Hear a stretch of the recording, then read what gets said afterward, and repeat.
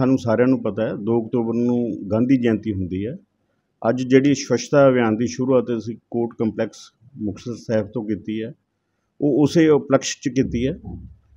ਇਹ ਅੱਜ ਸ਼ੁਰੂ ਕੀਤਾ ਅਸੀਂ 2 ਤਰੀਕ ਤੱਕ ਇਹਨੂੰ ਕੰਟੀਨਿਊ ਰੱਖਾਂਗੇ।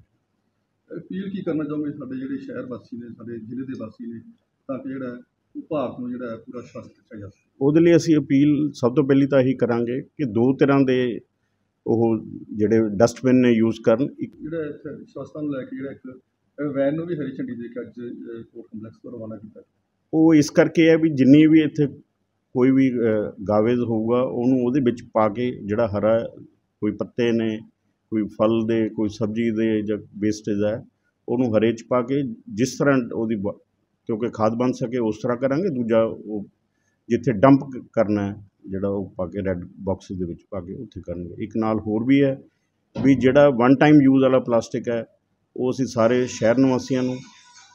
ਰਾਦਰ ਦੇਸ਼ ਦੇ ਸਾਰੇ ਵਸਨੀਕ ਲੋਕਾਂ ਨੂੰ ਇਹੀ ਕਹਾਂਗੇ ਵੀ ਉਹਨੂੰ ਘੱਟ ਤੋਂ ਘੱਟ ਯੂਜ਼ ਕਰੋ ਤੇ ਕੋਸ਼ਿਸ਼ ਇਹੀ ਕਰੋ ਵੀ ਉਹਦਾ ਇਸਤੇਮਾਲ ਨਾ ਕਰੀਏ ਆਪਾਂ।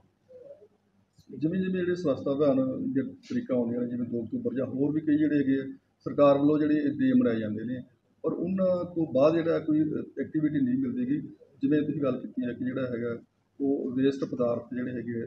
ਸੁੱਕਾ ਜਾਂ ਗਿੱਲਾ ਕੂੜਾ ਘਰਾਂ ਘਰਾਂ ਦੇ ਵਿੱਚ ਜਿਹੜਾ ਹੈਗਾ ਉਹ ਡਸਟਬਿਨ ਵੀ ਬਹੁਤ ਸਾਰੇ ਘਰਾਂ ਦੇ ਵਿੱਚ ਨਹੀਂ ਹੈਗੇ। ਨਗਰ ਕੌਂਸਲ ਵੀ ਜਿਹੜਾ ਪੂਰੀ ਕੋਸ਼ਿਸ਼ ਕਰ ਰਿਹਾ ਪਰ ਹਾਲੇ ਕਿਤੇ ਨਾ ਕਿਤੇ ਲੋਕ ਜਿਹੜੇ ਅਵੇਅਰ ਨਹੀਂ ਹੈ ਇਸ ਨੂੰ। ਲੈ ਕੇ